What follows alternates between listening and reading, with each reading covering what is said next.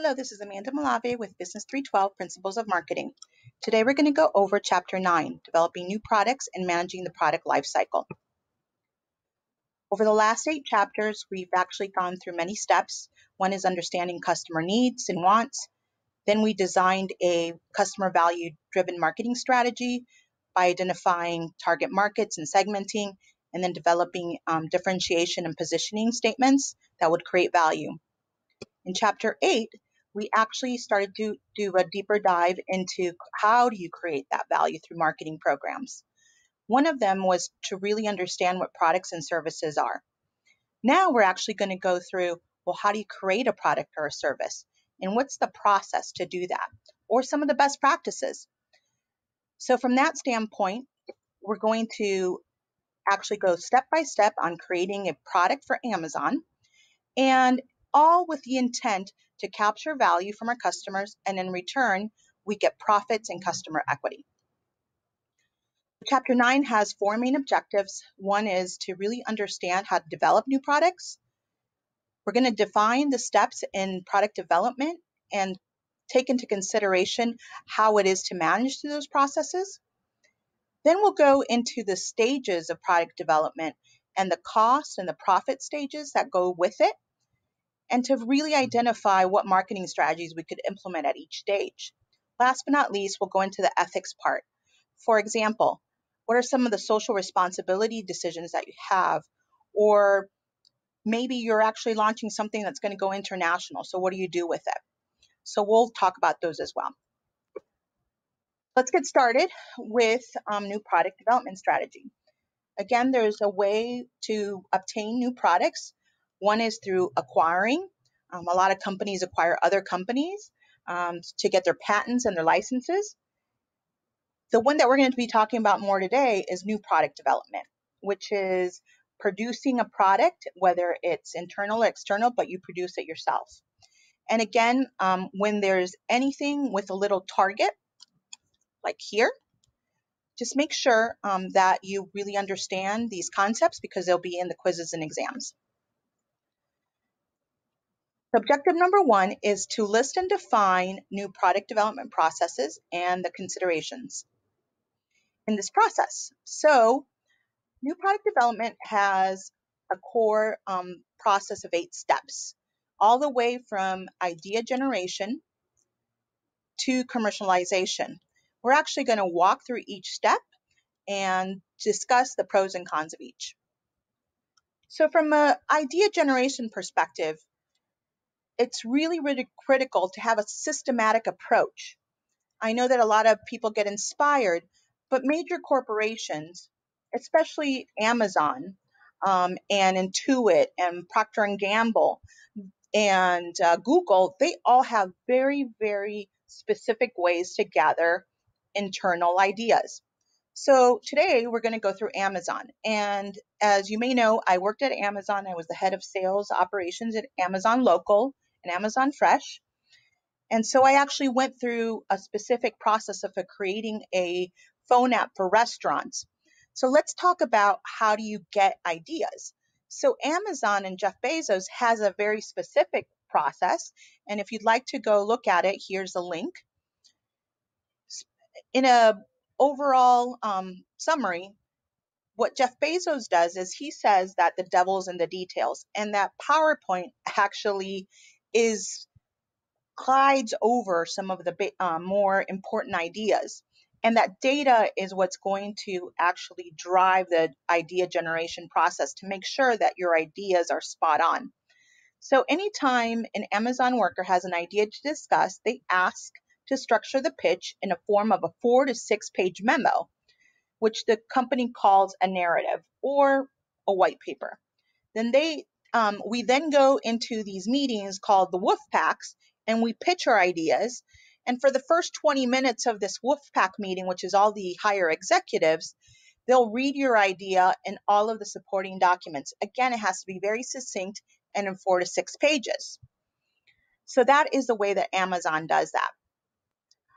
Other ways to get um, ideas are through external sources. So you get information from distributors and suppliers, even competitors and customers. a lot of ideas come through social media, but you can also have a systematic approach like Lego does. Lego actually has a website called ideas.lego.com where kids will go and put their ideas there. Then there's something called crowdsourcing. That's when um, ideas come together in a community setting. One of these great examples to me is called 99 Designs. Um, as a consultant in marketing as well, um, in Hawaii, I use 99 Designs to create logos for me.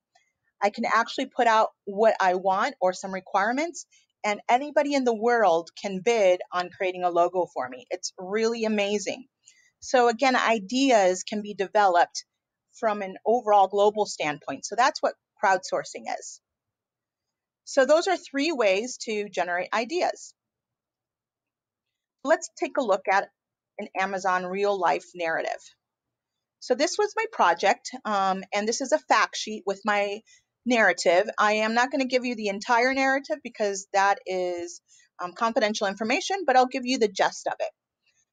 So um, when I was at Amazon Fresh, um, what we decided to do was to launch a mobile app for Prime members. And what we wanted to do is give them an experience where they only go to one location to order their meals. So from that standpoint, here is a fact sheet which had the overall project description, some key data points, some project status, some forecast, key performance indicators, our names, etc. At the end of the day, um, it's really, really important that you see that Amazon is actually using every step that we're going to go through in chapter 9 um, to a T. So here's the narrative. And overall, the goal is for Amazon to launch a phone app in Seattle and Dallas so Prime customers have one stop shopping on Amazon.com. So that was the idea generation process, and we would have taken that document with all supporting documents to the Wolfpack. But let's go through what we did before finalizing that final document. The first thing um, that we did, my colleague and I, is we actually went through idea screening, which is you would develop ideas and you figure out is it a good idea? Is it a poor idea? And one of the best um, practices that we know was created by IBM, and this is called the RWW, and it's also a technology based um, screening process. So the RWW uses data.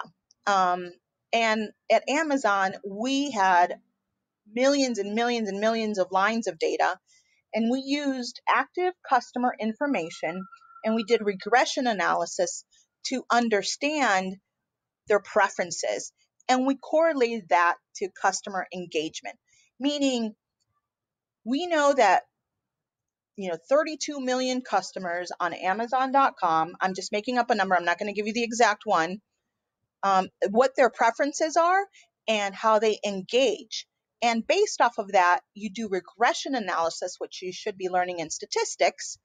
And based off of the highest statistical variation closest to one, that means that that um, is a high probability that that product or line of product, in this case, education and classes, is something that we feel that our customers at that time, which is in 2013, 2014, would really engage with.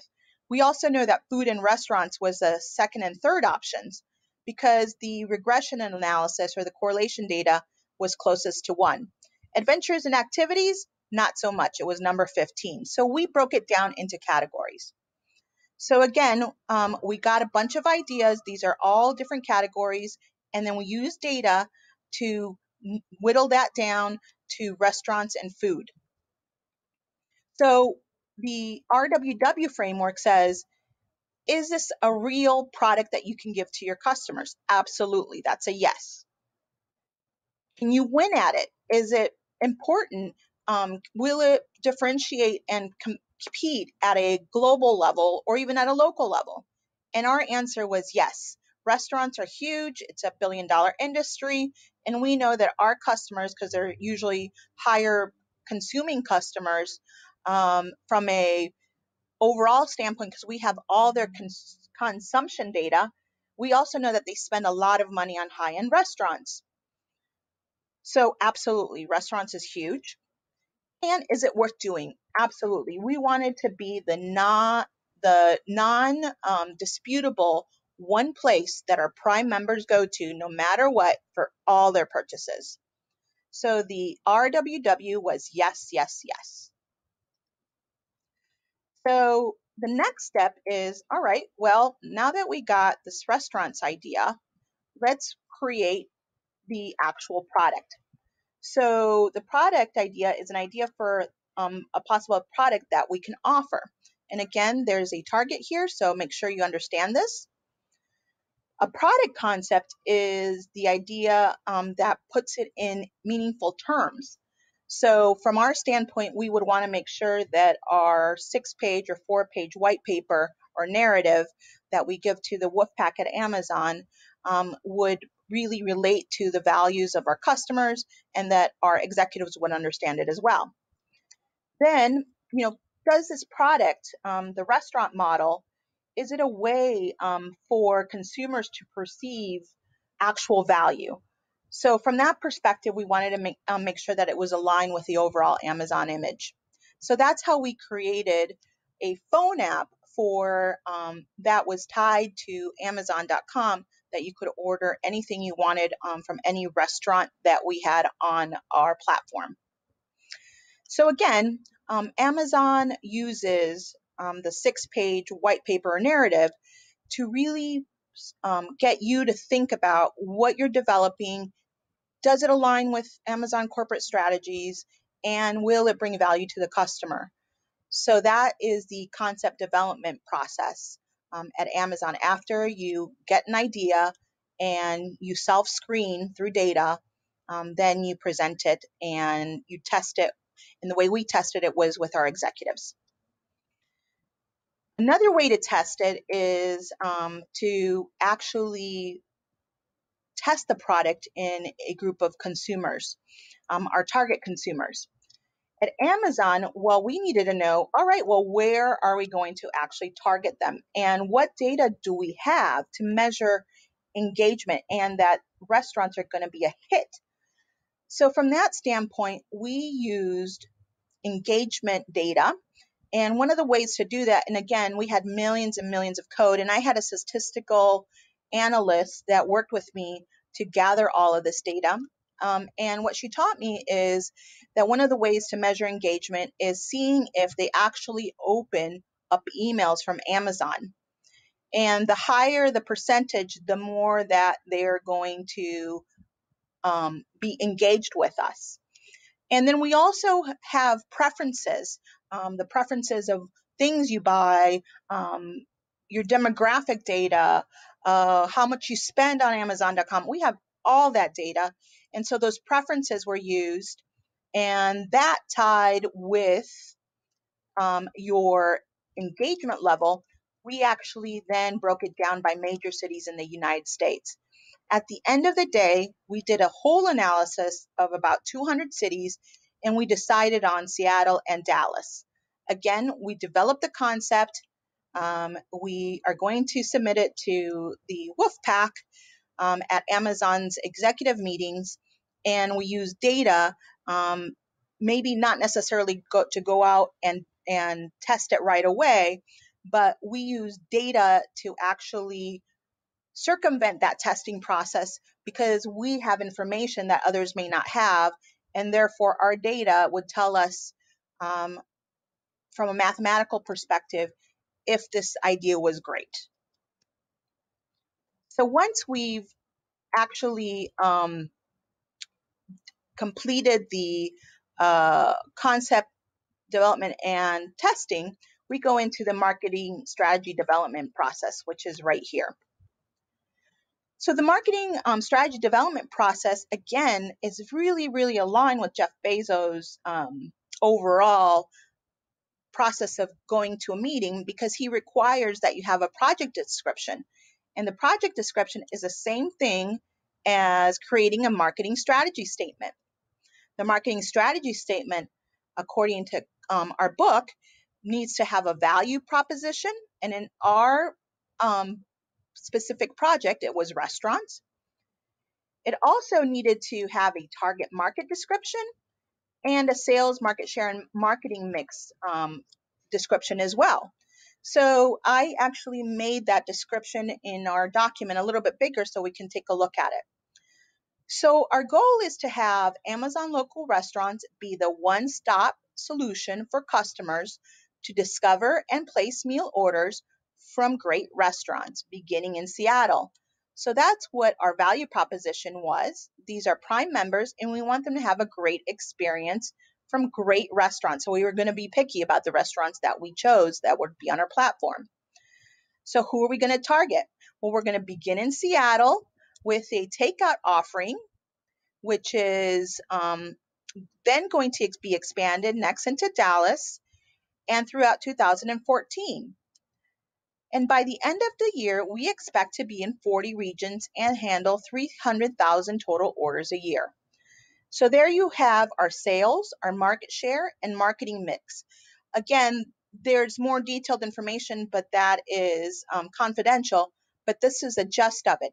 It has all parts of that marketing strategy statement within the documents that are required by Jeff Bezos and his executives. And again, that's part of the marketing developments, um, the marketing strategy development step, which again gets us to the product development that will be given to our end consumers. So, as you saw, we did a lot of business analysis. Once we've identified that it was going to be in Seattle and Dallas, we had to present a whole financial um, finding with profit projections, about the, the specific product, especially because we were going to be using developers to create the phone app that would be on Amazon.com. So that is the fifth step after you create your marketing um, strategy um, statements and identify your target markets. Then we actually develop the product. In our case, um, developing the product is something physical. And from our standpoint, uh, it was a service that is a physical phone app that can be utilized on Amazon.com. And that was our end all be all product um, that we developed. So we needed to test the market. And again, we tested the market um, by going into a specific uh, area and to have realistic settings. So as you saw in our overall um, document that we presented to the Wolfpack, it also stated that we were going to go into Seattle first, what our key performance indicators were, and that we were going to test that and then see if um, we would have to make any changes, especially around meal changes or maybe delivery options. So once we get the testing market all um, completed um, and we actually test in Seattle and then potentially even go into Dallas, we um, really needed to understand the overall market rollout. And again, um, this would be a holistic plan that once we're ready to commercialize the phone app um, on Amazon.com for every customer around the United States, that we um, actually then identify city by city, state by state, where to launch, how to launch, when to launch, and communicating that launch. So this process, this eight step process is um, really, really fascinating and it works as we obviously see uh, with Amazon actually using every single step um, that Kotler created throughout their entire um, new product launch um, proposals. But Kotler still says that even by using this particular scope and, and um, process, that 80 to 85 of, um, percent of products fail. So from that perspective, there are companies like Amazon and Procter and Gamble that do have a much higher success rate. And so let's take a look at why Amazon Local was successful as well. So from that standpoint, successful products should be customer centered. And one of the reasons that Procter Gamble was so successful is because they're customer centered. It's team based. Um, so again, it's not Amanda Malave and her colleague defining an idea and just doing whatever we want. We actually work with executives and they give us feedback. And, and if they didn't like the idea, they would give us information on how we can improve or tell us to go back to the drawing board. So team based is super critical. It's systematic. There's a process. Everybody knows it. Everybody's trained on it. And there's data that needs to be part of that overall proposal. And you got to look for customer problems and solve them. So here's an example of another company that does a great job of this, which is Intuit. They um, have the the lighting of that customer in the middle of their processes on how do they innovate. And from an Amazon perspective, Amazon has the customer experience in the middle, which is really identified our customers are those customers that are prime customers. And at the end of the day, our whole focus in life is to provide our prime customers a great experience, exceptional selection, lower prices, to be disruptive in any market that we go into, whether it's healthcare, um, purchasing um, Whole Foods, or um, the Amazon app for restaurants. So you can see how this process was also utilized be, um, for Whole Foods because everybody had that data at Amazon, which stated that classes and education was the number one thing that our customers wanted, but food and restaurants were number two and three. So everyone was trying to figure out how to get into that um, and that uh, or that target um, uh, markets um, and then segmented into that customer base. So objective number three is let's identify once you've created the product, what is the life cycle and how do marketing strategies change through that product life cycle? So the life cycles um, really work through four processes. One is the introduction of your processes. And what this states over here is your sales um, and how it improves and increases at, and then decreases through the life cycle and the time um, on the bottom. So when you're introducing a product, your sales are zero. And then you start introducing it, and usually, hopefully, you have great growth um, and as you grow, you're you're actually improving on your costs and your profits are are improving. And then from here, it goes into a maturity stage. But sales at the end of the maturity stage start to decline. And from there, sales start to fall. And you really basically need to really start another product pretty quickly um, so that you can supplement any declines that you have um, on one particular product with a new product. This is exactly what Amazon does. This is exactly what um, Apple does, um, Procter and Gamble, and all the other big corporations. They really understand this product life cycle. And again, you must too because we have that target here and it'll be on the exam. So product life cycle strategies also show us that through product development and all the way through the, the four steps, the sales we just talked about um, increase and decrease as you go through the cycle, but so do the profits. So, in the beginning of product development, there is a lot of investment, so you're actually losing money. When you're introducing the product in the beginning, um, when you actually launch it, there is a loss, but um, we usually see new products actually make large amounts of profit within the growth stage. And then in the maturity stage, um, halfway through it, they start declining as your profits start to decline over time as well. So let's go a little deeper into each one. So the characteristics that we're going to look at through the market development cycle for products are sales, costs, profits, customers, and competitors. And we obviously are going to have different marketing strategies that we do at each. Again, please make sure that you understand this because they will be in the exam. So at the introduction phase, we know that sales are going to be low, that costs are going to be higher, that our profits are going to be negative, and that we will be considered innovators um, throughout this entire process.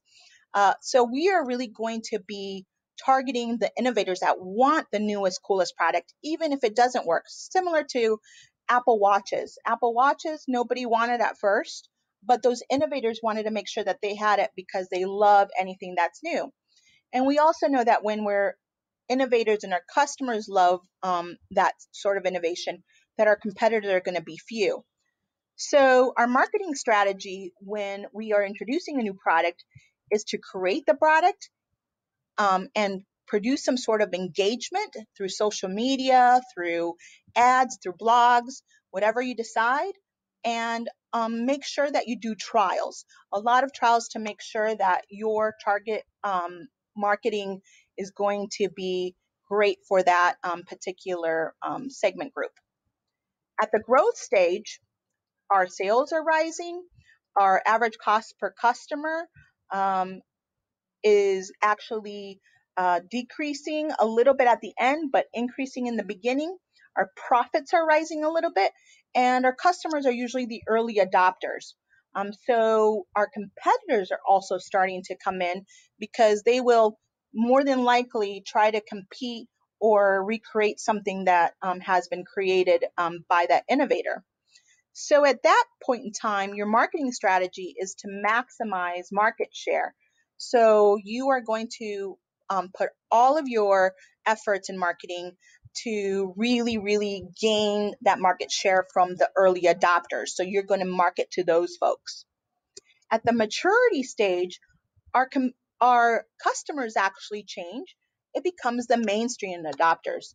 So, for example, um, people that don't buy the new iPhones immediately when they launch will more than likely purchase it at the maturity phase. This is where we have peak sales um, and our we have a really low cost per customer because we maximize the way that we produce. We have a highest amount of profits through the maturity stage, and um, our mainstream adopters are actually purchasing a whole lot, and we have a um, but we have a stable number of competitors, but they're starting to decline. Some people did well and some people didn't, and they'll actually get out of the market um, and start focusing on another, or they'll stay in and um, try to milk it as much as they can. So the objective for attracting um, this mainstream adopter is to market in a way that you maximize profits while defending your market share.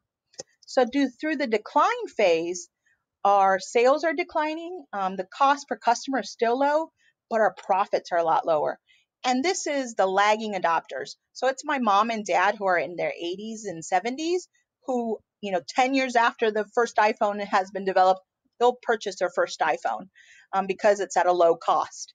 So from that standpoint, um, what you want to do is you want to actually potentially reduce your marketing spend um, and milk the brand uh, as much as you can, but potentially put some of your um, marketing spend on a new product and start all over again. So there's a second part to this, and I'm not going to go through each one. I believe you should um, go through each one yourself, but we'll walk through, um, you know, a deeper dive into the marketing strategy.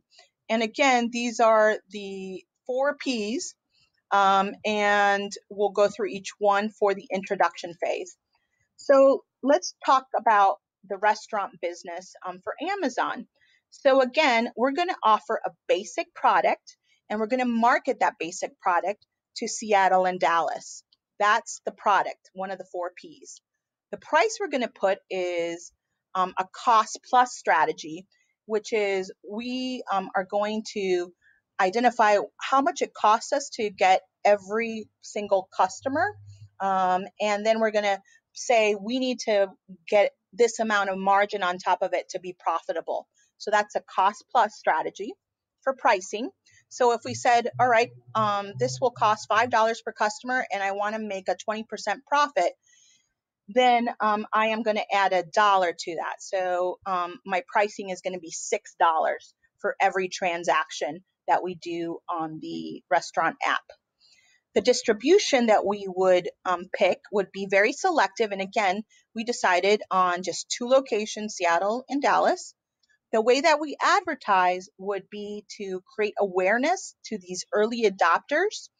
And so we would actually really target those tech savvy um, folks that you know are really busy and that we know are really engaged with us.